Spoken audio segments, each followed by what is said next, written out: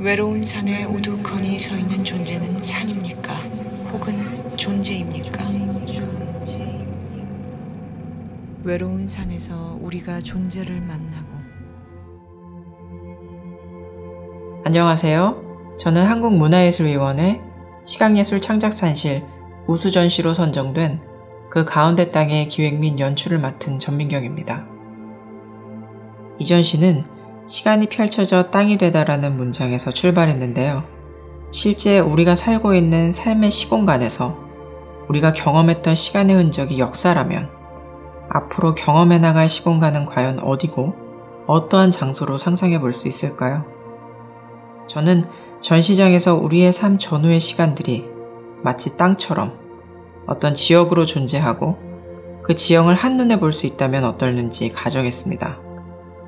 나아가 그것들이 모색하는 지도는 단순히 땅 위의 길을 찾아 나가는 지도가 아니라 우리의 심리적이고 정서적인 면모를 볼 수 있는 심리 지형도가 될 수 있을 것 같았습니다.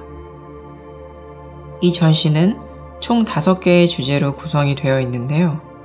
가운데 땅의 역사, 잃어버린 이야기, 가운데 땅의 형성, 잃어버린 길, 그리고 가운데 땅의 사람들 의 소주제로 이루어졌고 하나의 통제 불가능한 이야기를 현실과 영적인 시간으로 구분하고 혼성하며 펼쳐지는 현대미술의 모험소사입니다.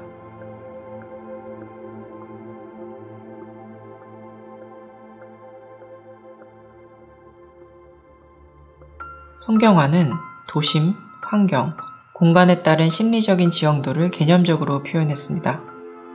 빛을 설치한 이 일련의 지형도 작품은 하나의 추상적인 풍경이자 관객을 감각적 체험으로 이끄는 경험적 풍경을 소개합니다. 문성식은 드로잉과 회화를 통해 삶의 풍경과 그 속에 미묘하게 드러나는 본능적인 지점을 묘사했습니다. 이 전시에서는 김홍도와 정선의 산수화에서 영감을 받은 신작 유화 드로잉을 통해 상상과 실제의 풍경을 혼성적으로 보여줍니다. 최하늘은 이 전시에서 마치 주변의 존재들을 상기시키는 인격적으로 운유된 조각 작품들을 총 다섯 가지의 주제에 따라 공간 특정적으로 구현했습니다. 김수자는 강제 노역이 희생된 무명의 흑인 노예들의 이름을 기록하여 이 작품을 통해 역사가 환기하는 소외된 인물을 회고하고 그것이 우리에게 던지는 사회적, 정치적, 개인적 화두를 상기시킵니다.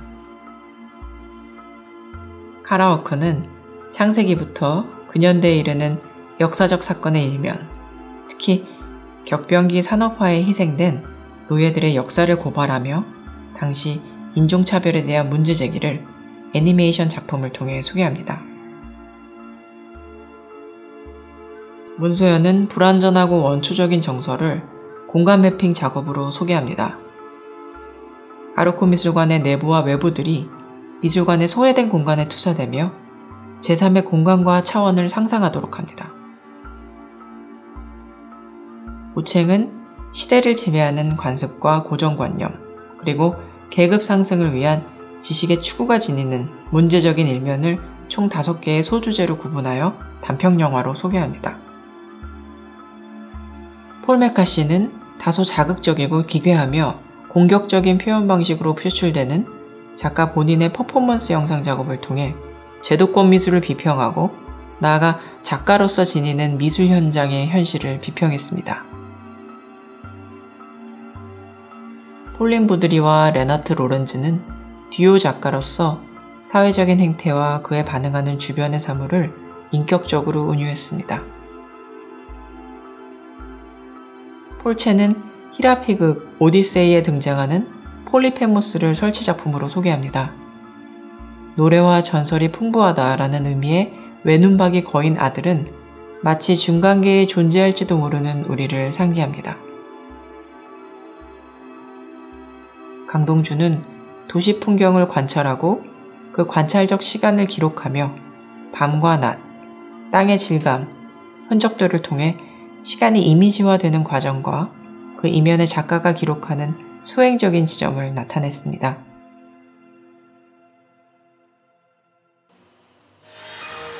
배우 지현주는 이막과 오막에서 사랑을 위해 모험을 떠나며 삶의 풍파를 통해 성장해 나가는 두 시간 속에 존재하는 인물 베렌을 연기합니다.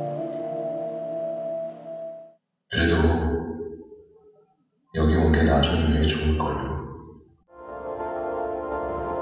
임세별은 무용가이자 안무가로서 1막과 3, 4막에서 베렌의 연인 루시엔으로 등장합니다. 베렌이 온전한 도전을 할 수 있도록 이꿈과 함께 도전에 부딪히고 극복하는 임무를 나타냅니다.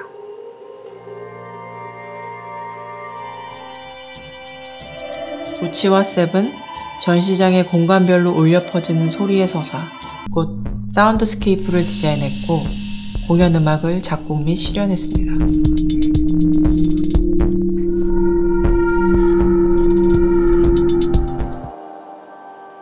조명 디자이너 김아리는 전시의 시간과 퍼포먼스의 시간이 하나의 전시 공간에서 다른 상상력을 촉발할 수 있도록 다섯 개의 주제에 따른 감정을 조명으로 번역했습니다. 외로운 산에 우두커니 서 있는 존재는 산입니까? 혹은 존재입니까? 김신록은 목소리 배우로 전지적인 시점으로 다른 차원의 시간과 공간을 환기하는 영혼으로 열연합니다. 생명이 있죠. 그 종은 얼마나 된답니까? 그 가운데 땅 제목은 우리에게 반지의 제왕으로 유명한 판타지 소설의 대가 J.R.R. 톨킨의 첫 소설 실마릴리온에서 비롯되었습니다. 저는 톨킨이 소설가이기 이전에 언어학자였고 그가 형성해 나간 섬세한 생각들의 구조가 흥미로웠습니다. 그 속에서 지금 우리의 시간이 삶과 상상 속 영역에서 발휘되는 조형적 상상력이 어떤 괴를 같이 할 수 있다는 지점을 생각했습니다. 장소로서의 땅은 역사적 의미가 있는 땅, 무엇인가 사건이 일어났고 그 사건이 기억을 통하여 여러 세대에 걸쳐 역사의식으로 정착된 땅이라면 그 땅이 지정되지 않은 장소, 나아가 허구적인 면모를 꿈꿔볼 수 있는 전시 공간에서 작품들이 조형적인 특징들을 통해 펼쳐졌을 때 무엇을 질문할 수 있을 것인가 궁금했습니다.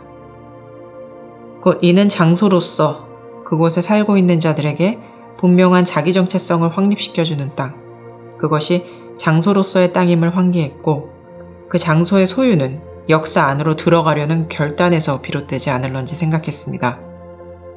그렇다면 우리가 전시장에서 세계사에 따른 장소의 편린을 논의하기보다 우리가 감정이 동화되고 오감을 통해 감각하는 소리, 조명, 퍼포먼스들을 통해 작동하는 서사, 곧 움직이는 이야기를 우리 개인의 심리와 정서, 나아가 지금의 상태에 비롯되어 바라보고 경험될 수 있기를 희망했습니다. 전시와 공연이 함께 어울리며 다른 차원의 상상적 시간성을 도전하는 그 가운데 땅은 궁극적으로 우리 삶의 터전이 회고하는 작은 역사와 그에 따라 선과 악이 뒤섞여 있는 복합적인 삶의 이야기들, 그리고 그 이야기 속 개인을 존재적으로 해석해 보고자 했습니다. 그래서 지금 여기 아르코 미술관에서 열리는 전시로서 퍼포먼스로서 그 가운데 땅은 우리가 사는 세계의 한 모습을 투사하지만 시간적으로는 현실을 초월한 상상의 무대로서 참여 작품들을 존재적으로 비유하고 본 창작적 세계관으로 운유해 보고자 합니다.